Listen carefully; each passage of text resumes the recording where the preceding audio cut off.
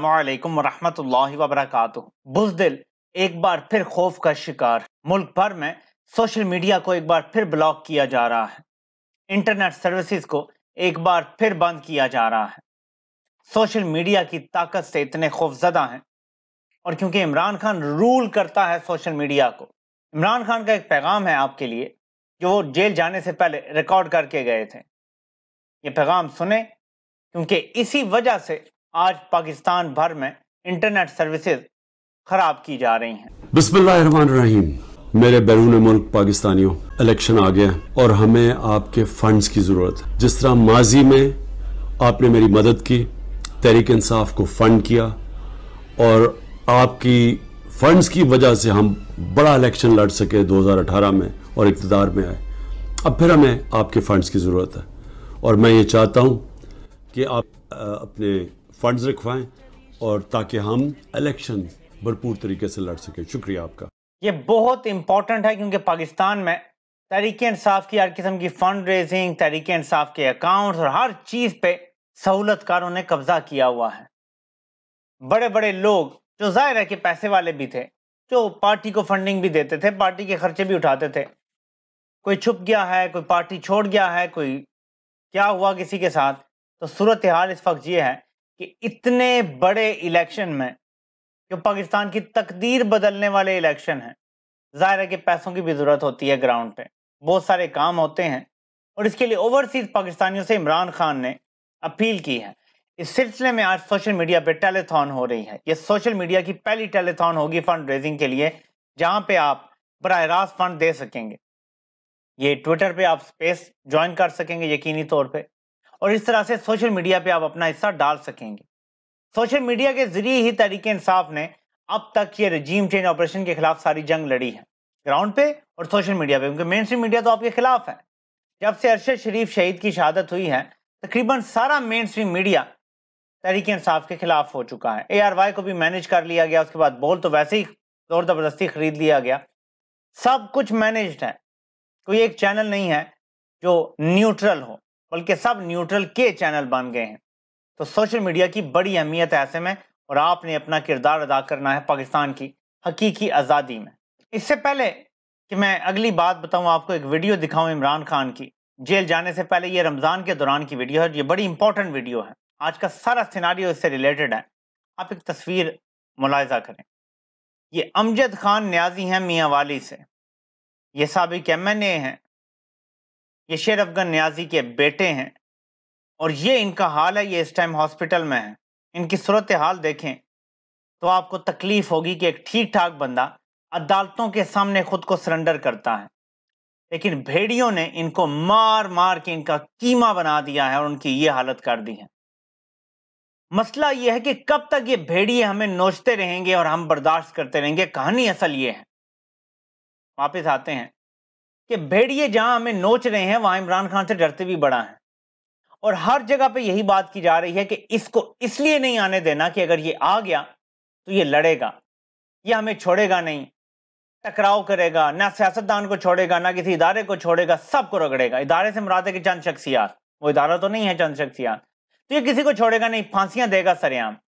लेकिन इमरान खान रमज़ान के वक्त, अफ्तार का टाइम है इसका जवाब दे चुके हैं कि वो जब आएँगे तो क्या करेंगे? ये ज़रा जवाब उनका आप खुद मुलायजा कर लें। तो हमारा तो मकसद पाकिस्तान है तो मेरी कोई ज़ाती बदले बदले तो नहीं मैंने लेने। सब तजियाकारों का ख्याल ये है कि अगर इमरान खान दोबारा इकतदार में आ गया तो ना सिर्फ़ पोलिटिकल पार्टीज़ बल्कि एस्टेब्लिशमेंट भी सोच रही है कि खान बदले की आग में वापस आएगा। और फिर जिन जिन ने रिजीम चेंज की थी जिन जिन ने अरशद शरीफ को मारा था जिन जिन ने खान के ऊपर गोलियाँ चलवाई थी उन सब का हिसाब किताब होगा। इसलिए खान को कोई कुछ भी हो जाए आगे नहीं आने देना। पहले तो देखें कुरान की आयत है एक प्लान इंसान बनाता है कि अल्लाह बनाता है। जी। कामयाब सिर्फ़ वो होता है। तो ये किसी के हाथ में नहीं है कि किसने इकतदार में आना या नहीं आना। दूसरी चीज़ लेकिन जो लोग बदले लेते हैं ना वो लोग होते हैं जो कि अपने मैं के ग़ुलाम होते हैं।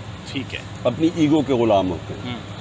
हाँ, या ऐसे होते हैं कि छोटी छोटी चीज़ें नहीं भूलती हमारे ऐसे ऐसे लोग थे जुल्फ़िकार अली भुटो वो जब पार में आए तो वो भूले नहीं कि जिसने भी कुछ बुरा किया था उसने उससे बदले लिए। और या नवाज़ शरीफ है वो छोटी कभी भी भूलता नहीं था कोई उसे जो समझे कि इसने उससे ठीक तरह रवैया नहीं था। लेकिन अगर आपका मकसद बड़ा होता है जी, अपनी ज़ात से और हम हैं उम्मत नबी सल्लल्लाहु अलैहि वसल्लम की तो फ़तह मक्का के बाद उन्होंने सबको माफ़ कर दिया था। ठीक है। स्वाय स्वाय चोरों को उन्होंने सबको माफ़ कर दिया। था जी। और उसी तरह मंडेला ने जो साउथ अफ्रीकन ने जो जो वाइट साउथ अफ्रीकन ने जुल्म किया था ब्लैक अफ्रीकन पे उन्होंने सबको माफ़ कर दिया था ट्रूथ एंड रिकन्सिलिएशन में। ये जब आपका मकसद बड़ा हो नेल्सन का मंडेला का मकसद साउथ अफ्रीका था। नबी सल्लल्लाहु अलैहि वसल्लम का मकसद अपने से बहुत बड़ा था। वो एक एक दुनिया के अंदर एक राय हक की आवाज़ और एक खुदा की आवाज़ वो लेके आए थे। तो हमारा तो मकसद पाकिस्तान है तो मेरी कोई ज़ाती बदले बदले तो नहीं मैंने लेने। तो जो लोग डरे हुए बैठे हैं, घबराए हुए बैठे हैं, बंद कमरों में रौनत से ऑर्डर्स देते हैं, लेकिन अंदर से इमरान खान के नाम से उनकी टांगें काम जाती हैं। उनको सोचना चाहिए कि इमरान खान जाति बदले नहीं लेगा। हाँ ये मेरी राय ज़रूर है, मेरा कंसिडर्ड ओपिनियन ज़रूर है कि ट्रूथ के बगैर रिकन्सिलेशन नहीं हो सकती। सच ज़रूर सामने आना चाहिए ताकि 25 करोड़ में से किसी एक को भी इबाम ना रहे कि इस मुल्क में एक रजीम चेंज ऑपरेशन हुआ, एक साजिश हुई, एक हुकूमत गिराएगी और बाकायदा लोगों को ऑर्डर देकर इकट्ठा किया गया और ये सारा खेल रचाया गया। रात को अदालतें खुलवाई गई, सुप्रीम कोर्ट से फैसले ज़ोर ज़बरदस्ती करवाए गए, ये सब कुछ खुलना चाहिए। तब जाके बेशक साहब को माफ़ कर दें और उसके बाद एक कानून साजी हो, आइन साजी हो और हर किसी को उसके अपने डोमेन में बंद कर दिया जाए। उससे बाहर उसे निकलने का कोई मौका ना मिले। हर किसी को अपने हल्फ की पासदारी के लिए मजबूर कर दिया जाए।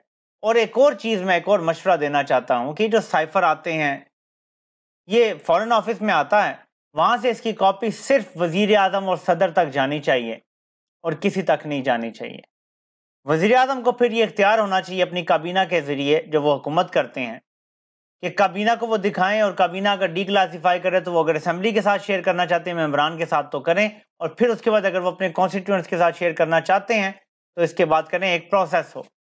इसका कोई गैर कानूनी बात भी नहीं होगी, कोई राज भी लीक नहीं होगा और ताकत सारी सिविलियंस के पास आ जाएगी। जब तक हम गैर मुतल लोगों को भी सिविलियन मैटर के बारे में चीज़ें देते रहेंगे, तब तक दखल अंदाजी जारी रहेगी और ये बड़ा ज़रूरी है, ये बड़ा अहम है ये काम करना। आहिस्ता आहिस्ता ये किरदार ख़त्म करने पड़ेंगे। तमाम बड़ी जगहों पे, जैसे फॉरेन ऑफ़िस है, वहाँ सिग्नल के किसी ऑफिसर के बजाय किसी सिविलियन की ऐसी ट्रेनिंग हो कि वो डिसाइफर करे साइफर की लैंग्वेज को, वो यूज़ करे जो भी कोई तरीकाकार है, जो भी मशीन यूज़ की जाती है पुरानी। और इस तरीके से इसको एक सिविलियन डोमेन में रखा जाए सारी चीज़ों को। तब जाके सिविलियन बालादस्ती कायम होगी और तब हम हकीकी जमहूरियत की तरफ़ बढ़ेंगे। प्राइम मिनिस्टर को भी मिलिट्री सेक्रेटरी की ज़रूरत नहीं है। प्राइम मिनिस्टर का एक सिविलियन सेक्रेटरी हो, जिसके तमाम रबते हों, जो किसी भी मिलिट्री अहदेदार से बड़ा अहदा हो, क्योंकि वो वजी अजम का सेक्रेटरी है, प्रिंसिपल सेक्रेटरी वो रबता करे, वो पैगाम भेजे, पैगाम ले, पैगाम दे और सारा कुछ हो। ऐसा होना चाहिए। मिलिट्री सेक्रेटरी का कोई काम ही नहीं है बीच में। यही है, सदर के पास भी मिलिट्री सेक्रेटरी की कोई ज़रूरत नहीं है। जिनका काम है, वो करें जिनका काम है हिफाजत करना, वो हिफाजत करें, जिनका काम मुल्क चलाना है, पॉलिसी बनाना है, वो वो करें। जिसका काम उसी को साझे जब तक हम इस पॉलिसी पे नहीं चलेंगे, पाकिस्तान ठीक नहीं हो सकता। नजीन एक और मुसीबत पड़ी हुई है। मरियम नवाज़ हवास बाख्ता हुई फिरती हैं। सनम जावेद को नहीं इलेक्शन लड़ने देना उनके मुकाबले में ये उनकी बुनियादी डिमांड है। और उसके लिए इवन इलेक्शन ट्रिब्यूनल से भी सनम जावेद के कागजात मुस्तरद कर दिए गए हैं। दो एतराज़ात लगाए गए हैं। और ज़रा सुने कितने मज़े का कैद एतराज़ात हैं। एक एतराज़ ये लगाया है कि जो आपने दस्तखत किए हैं, वो इक्कीस को किए हैं, तारीख बाईस थी। और उसके बाद दूसरा एतराज़ ये लगाया है कि आपने अपना अकेले का बैंक अकाउंट जमा करवाने के बजाय जॉइंट अकाउंट की तफसीलात बीच में लिख दी अपने कागजात नामजदगी में। इसलिए आपके कागजात मुस्तरद किए जाते हैं। यानी ये कोई वजह है? ये कोई बात है? और इस पे ट्रिब्यूनल ने भी मुस्तरद कर दिए कागजात। अब ज़रा सोचें। अब पाँच मेंबर बन गया है बेंच, जो ट्रिब्यूनल के भी फैसलों को ऊपर सुनेगा और उसके बाद सुप्रीम कोर्ट का भी एक ऑप्शन होता है। देखते हैं कि सनम जावेद खान मरियम नवाज़ के मुकाबले में इलेक्शन लड़ने में कामयाब होती हैं, यानी उनको रोकने की पूरी कोशिशें की जाएँगी। इसमें कोई शक नहीं है कि मरियम नवाज़ की जान निकलती है इस खातून से। इसीलिए इनको खास तौर पे जेल में डलवाया हुआ है और निकलने नहीं दिया जा रहा। बदले लिए जा रहे हैं। लेकिन वो, जेल में हो, बाहर आए, ना आए, अगर इलेक्शन लड़ने में कामयाब हो गई तो मरीम नवाज़ की जमानत जब्त हो जाएगी और हसन निसार ने भी यही कहा था कि इलेक्शन शफाफ तब होंगे जब सनम जावेद के मुकाबले में मरीम नवाज़ की जमानत जब्त हो जाएगी। अगर इससे कोई भी मुख्तलिफ़ नतीजा आता है तो आप ये समझें कि इलेक्शन शफाफ नहीं हुए। इलेक्शन कमीशन से जो सेक्रेटरी का इस्तीफ़ा आया है सिर्फ़ ये नहीं है कि शायद सुप्रीम कोर्ट की समाज से पहले एक इस्तीफ़ा आ गया है, बल्कि मुझे कुछ बड़ी खिचड़ी पकती नज़र आ रही है।